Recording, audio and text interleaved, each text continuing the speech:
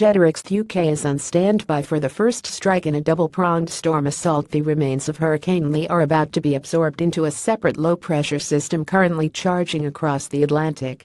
Lee, a former CATEGORY-1 storm, has in the past 24 hours weakened to a tropical depression whipping up wind speeds of around 65 miles per hour. It will dwindle further as it travels eastwards before arriving to UK shores during the early hours of tomorrow.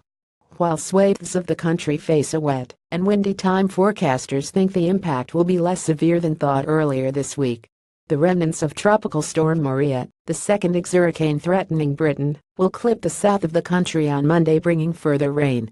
The main risk however will still be from Lee as it passes over the tip of Scotland triggering severe gales across northern Britain. Government warnings are in place for heavy rain, floods and disruption to roads and transport services over the next couple of days. A Met Office alert for wind and rain down the west coast of the country warns of heavy and persistent rain and strong winds through tomorrow. The remnants of Tropical Storm Maria left will be threatening Britain. The remnants of Lee will feed into the system, bringing wind and rain to the UK on Sunday. Alex Burkill Met Office forecaster Alex Burkill said there is a low pressure system to the south of Greenland which is going to track towards the UK, and that will bring some wet and windy weather. The remnants of Lee will feed into this system, bringing wind and rain to the UK on Sunday, although we are probably going to be downplaying things from yesterday's forecasts. Winds and rainfall will be slightly lower. The remains of Maria will follow hot on the heels of Lee, although current models show Britain dodging a battering from the former hurricane, he added.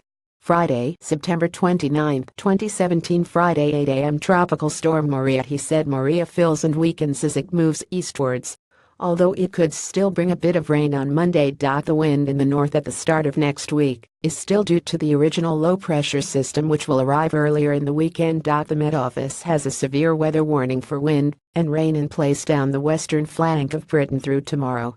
A separate alert for wind covers Scotland and northern England on Monday, when gusts of up to 70 miles per hour are forecast to sweep the region. Met Office Chief Forecaster Laura Paterson said winds in the worst that regions could be strong enough to topple trees and knock out power supplies. She said spells of heavy and persistent rain are expected over some areas of western and northern Britain accompanied by strong winds at times. Flooding of a few homes and businesses is possible. Spray and flooding on roads could make journey times longer and could affect some bus and train services. 2. September 12, 2017 People take cover from the rain in Cambridge as the weather goes from sun to rain in moments.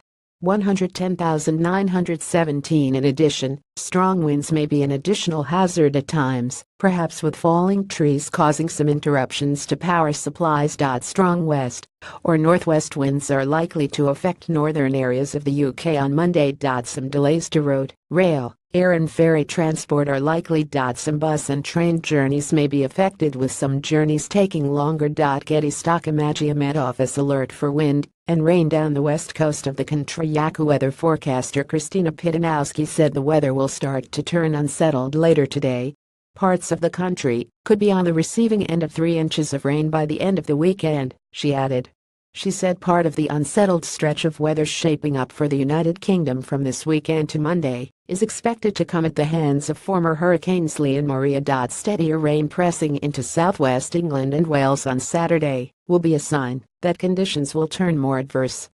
Wet, September 13, 2017 Farmer Jack Shepherd strips down to his underwear to help a stranded elderly motorist whose vehicle got stuck in flood water in Wensleydale, North Yorkshire. Depression, which will tap into some moisture from Lee, will sweep more rain across the UK on Saturday night into Sunday. The biggest impact will be disruptions to outdoor plans and travel. There may also be isolated incidents of wind damage and flooding in poor drainage areas in northern and western areas. The steadiest and heaviest rain accompanying a depression from Saturday night to Sunday will sweep across the northern UK. Rain totals of 1 to 2 inches with localized amounts to 3 inches are expected in northern and western Scotland.